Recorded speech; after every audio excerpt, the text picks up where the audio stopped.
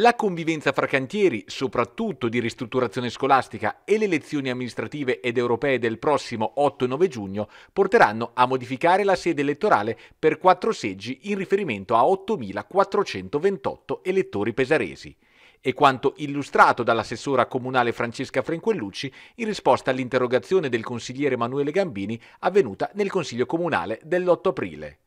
Nel dettaglio, i lavori di demolizione e ricostruzione della scuola Anna Frank di Santa Maria delle Fabrecce porteranno gli elettori di tre sezioni a spostarsi nei locali del quartiere Vismara in via Basento.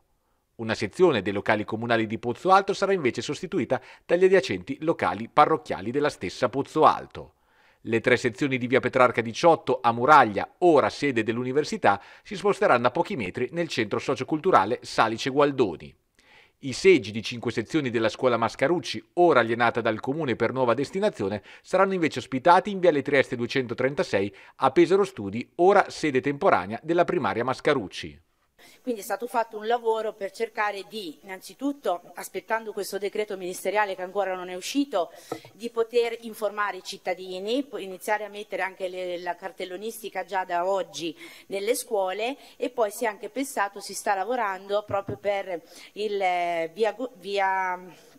eh, a Soria per la scuola Mascarucci via Agostini che verrà spostata a Pesaro Studi eh, di mettere eh, una navetta a disposizione della cittadinanza anche perché parliamo di cinque seggi ed è l'unico luogo dove diciamo, c'è una distanza di circa insomma, un chilometro